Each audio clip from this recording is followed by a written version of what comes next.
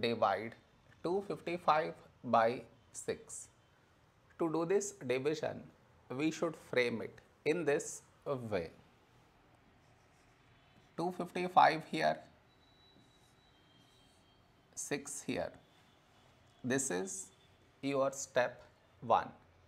Next, here we have 2, here 6.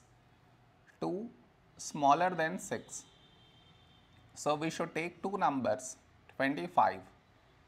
A number close to 25 in 6 table is 6 fours 24. Now we should subtract, we get 1.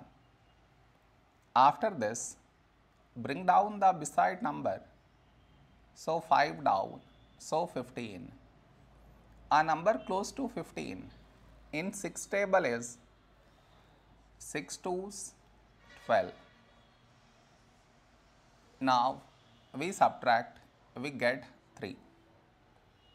After this, no more numbers to bring it down. So what we do is, we put dot, take 0. So 30. When do we get 30? In 6 table, 6 fives 30. Now we subtract, we get 0. Here we got remainder 0. So this is our quotient